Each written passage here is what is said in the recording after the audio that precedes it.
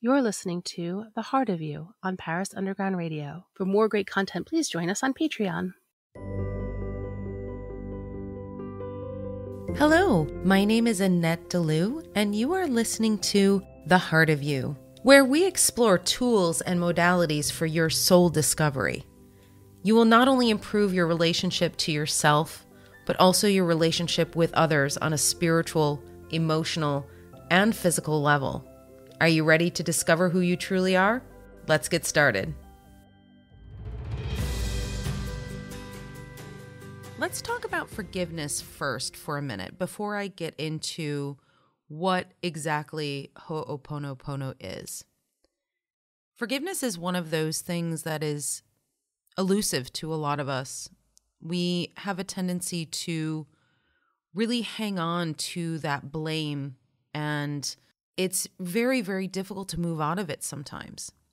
Holding a grudge or staying in non forgiveness over a particular situation keeps you stuck for the most part for various reasons. The first reason is your energy in general is stuck in the past.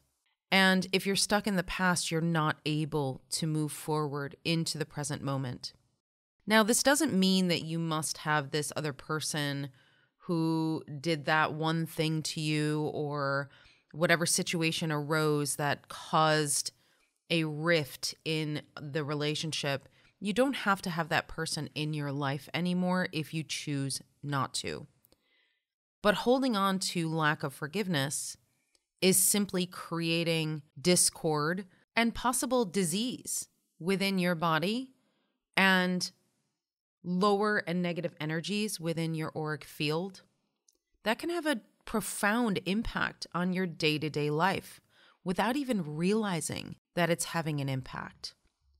This is what happens when we react from our wounding.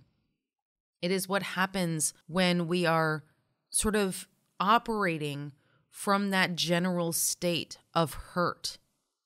And in order to get out of that general state of hurt, forgiveness needs to happen.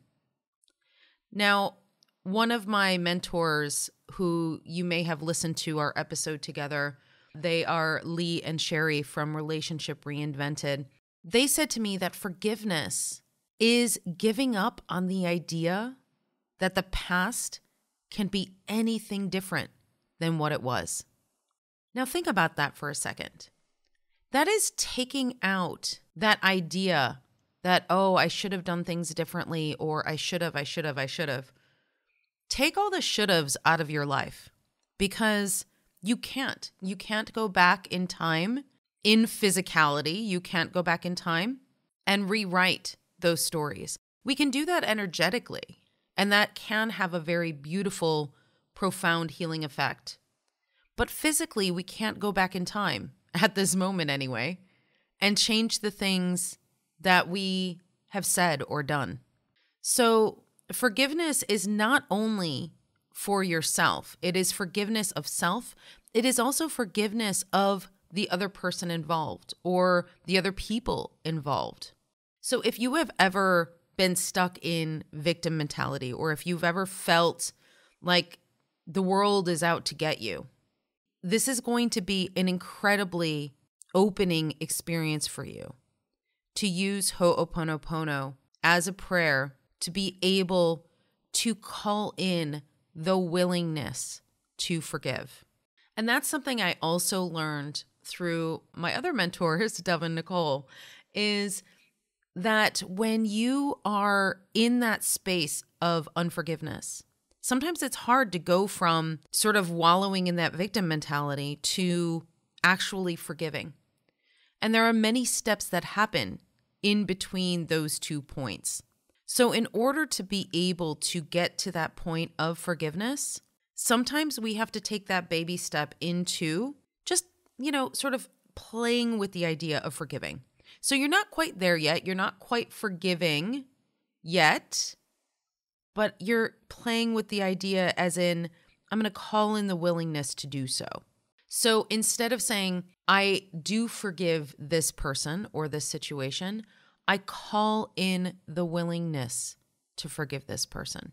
And that just sort of gives you that space to be open to doing the work, to be open to start forgiving. Now, I understand that certain situations can get really complicated. So, if you're in a relationship with somebody and they said something that really, really hurt you, but maybe they're not aware that whatever they said hurt you, then you're operating out of your wounding. You're reacting back at them from your wounding. They have no idea why you're doing it. There is a lack of communication and then a breakdown of the energy between you. And that can happen with a misunderstanding.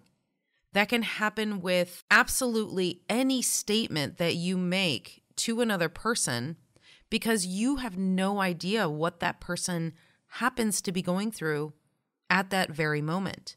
Maybe they're in the process of doing their shadow work. So they're sort of pulling up all of this childhood wounding that they had. So maybe some really benign thing that you just said to somebody triggered that childhood wounding response in them. And then you have no idea why that's happening. That is where taking a step back, being sort of the observer of the situation, and being able to have compassion for everybody's experience can really come into play. Now, right now, we're talking about misunderstandings. We're talking about even if somebody said something intending on hurting you, that is still coming from a place of wounding. And it's not intending to, let's say, hurt you specifically, it is their projection of how they are feeling. And when you're dealing with that, it can be really, really difficult. It can be really hard to not only deal with the energy of that, but then also to understand that this person most likely does not mean it. And if they do, that's totally fine as well. You do not have to take this on as truth for yourself.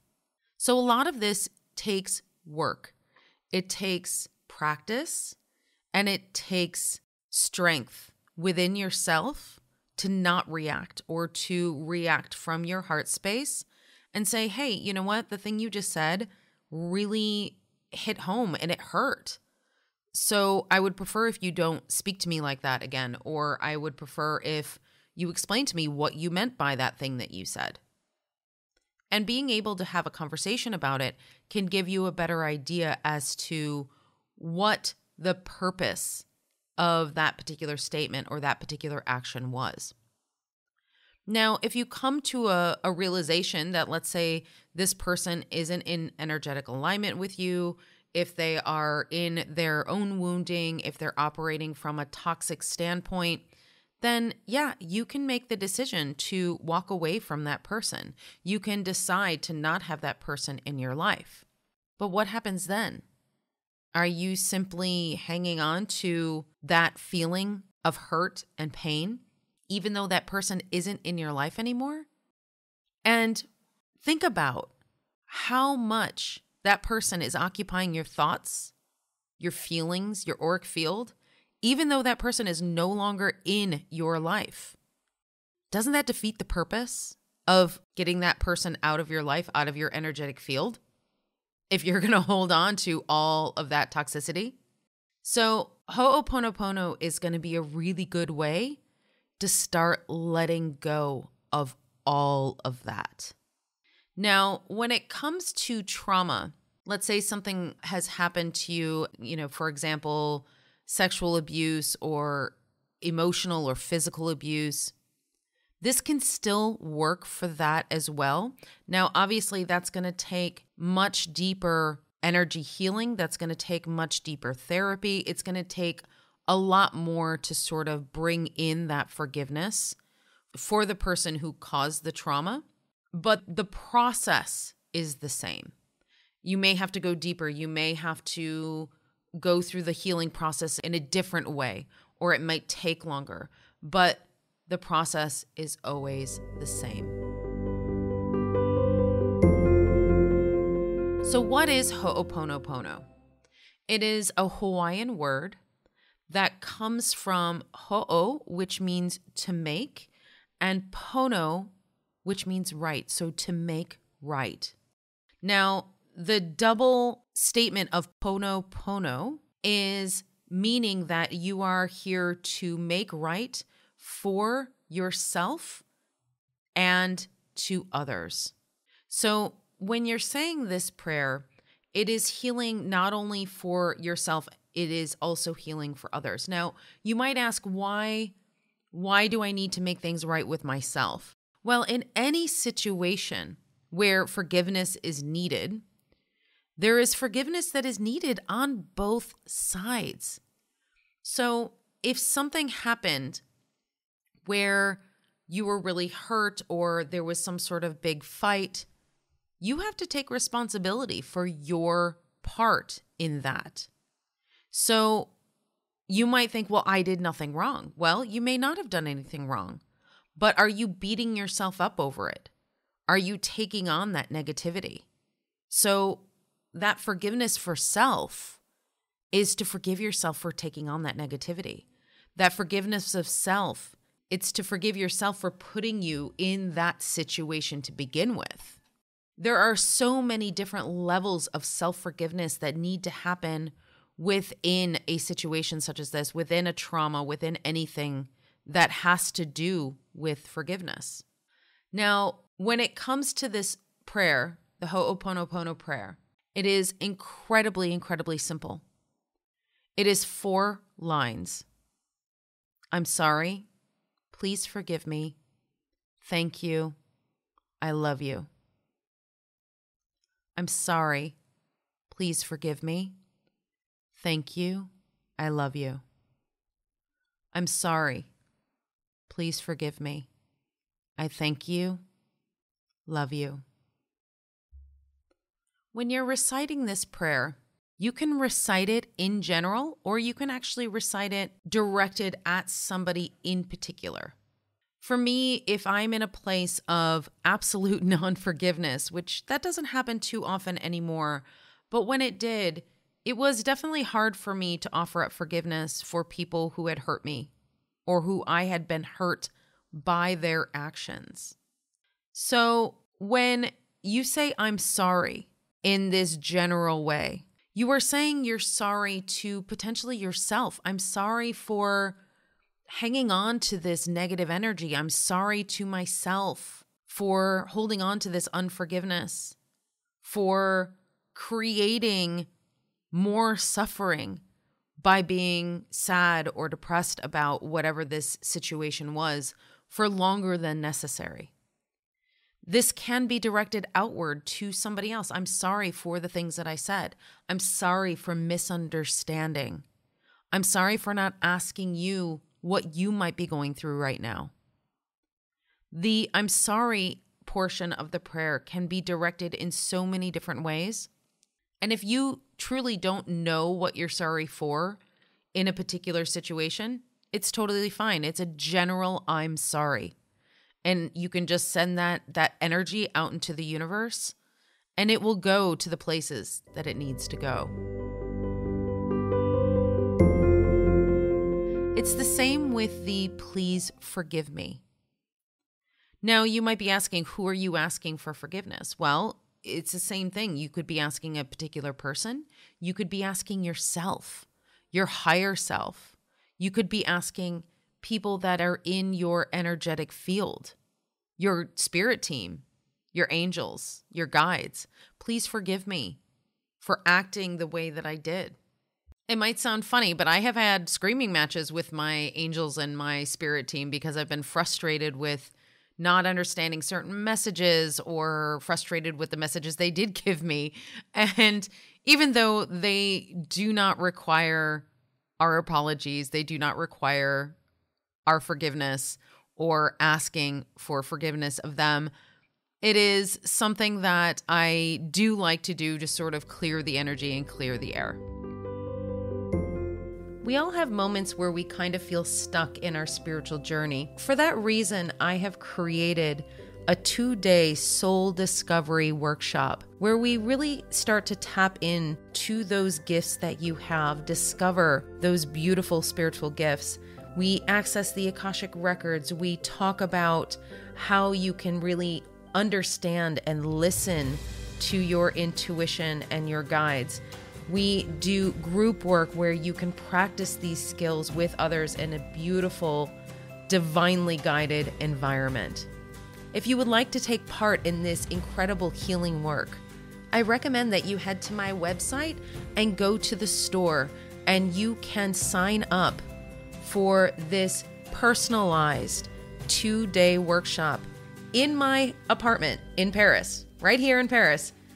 You can join me for two full days and we are going to explore everything that you need to know about your soul. That is infinitesoullove.com forward slash store. The next one is taking place April 15th and 16th, 2023. Whether you live in France or whether you're just trying to learn French, sometimes navigating the nuance of the vocabulary can be daunting. Navigating the French is a podcast that explores each one of these nuances that will help you integrate the language into your everyday vocabulary and help you understand the history of that word or concept. Emily Monaco is a delight to listen to. So head over to Paris Underground Radio, Navigating the French. We will be right back with the heart of you after a word from our sponsors. Welcome back to the heart of you on Paris Underground Radio. The next part of the prayer is thank you. We all know that gratitude is an incredibly powerful energy. So, saying thank you is not thanking the person who hurt you or created this trauma. You're not thanking the person for the trauma, although you might after you realize what it has taught you.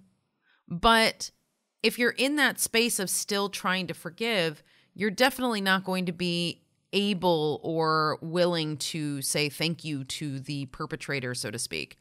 So the thank you is just general gratitude for the experience, for the ability to have forgiveness, for the ability to be here. Just gratitude for your existence, gratitude for your life. It can be as general or as specific as you need it to be. And I love you is the most powerful statement you can make. Love is the most powerful energy.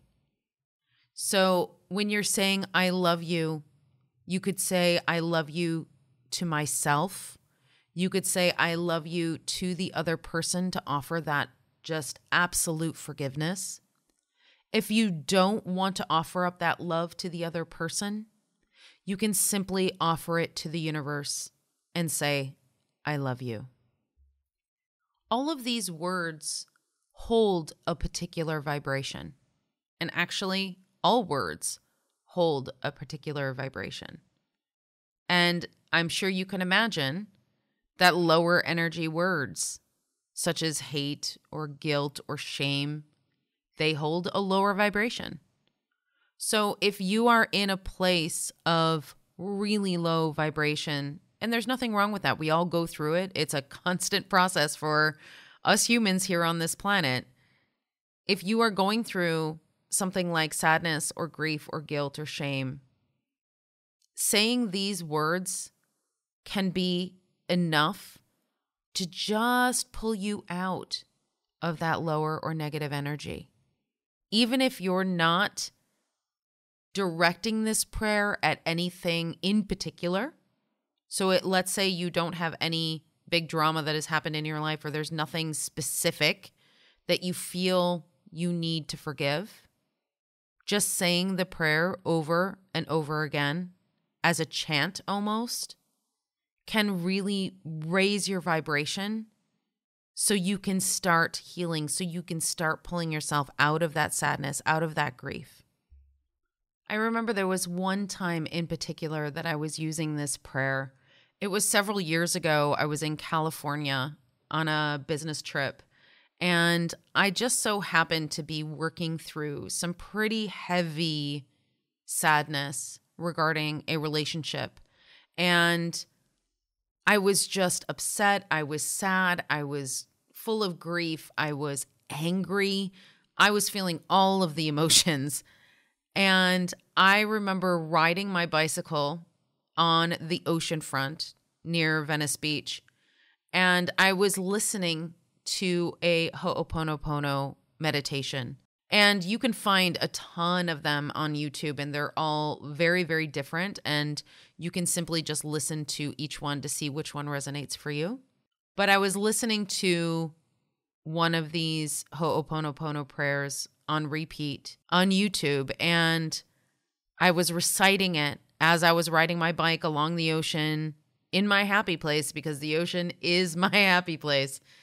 So I'm I'm riding my bike sobbing, like so, like absolutely crying my eyes out, saying this prayer near the ocean. And it was so incredibly healing for me. It was such a profound moment because up until that point, I hadn't allowed myself the space and the time and the energy release of being able to start that forgiveness process. So that's where my forgiveness started for this person. Now, that wasn't the end. It wasn't that just on that day on the beach, riding my bike, chanting this prayer completely eliminated all of my feelings of hurt or lack of forgiveness for this person. That's not what happened. But what it did was it raised my vibration just enough so I was willing to start doing the work that I needed to do to be able to get to the bottom of why I was feeling the way that I was, why I was feeling unworthy, why I was feeling unattractive and unwanted and abandoned, and start diving into those wounds that I had from childhood. So, this can be a, an incredibly powerful prayer to really jumpstart your healing as well. So make sure you're in a space that you're ready and willing to do so. And you might find that you have resistance to saying this prayer. And if you do, maybe it's not the right time. Or maybe it's the time to push through and start it and see how it makes you feel. Use your intuition on that to see what is aligned for you. I have had many situations in this spiritual journey where I have had resistance to certain modalities or certain things. And typically it is because it is either the wrong time or it is because I am actually building up resistance to it because it's something that I'm not willing to look at yet.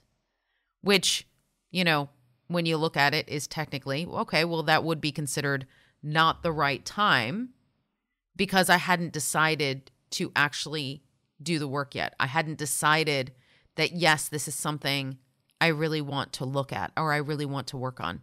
So, this can pull out a lot of things in your subconscious, a lot of the things that you have locked away in those little cubes in the back of your mind, in the back of your energy field. So, make sure that you're willing and ready to start doing the work because just simply saying the prayer over and over and over again without doing the work it's not to say that it won't help you because it absolutely will, but it will absolutely open the doors for you to start doing more of the work. So if you're ready, say it with me. Get comfortable. Close your eyes. Maybe put your hand on your heart. And we're going to say this three times. I'm sorry. Please forgive me. Thank you. I love you. I'm sorry. Please forgive me. Thank you. I love you. I'm sorry. Please forgive me. Thank you. I love you. Now take a deep breath. Inhale through your nose and exhale through your mouth. and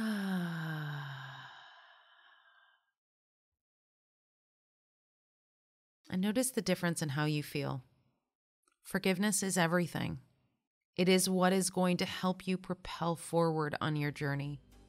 If you're needing extra help with this forgiveness piece, please do not hesitate to contact me.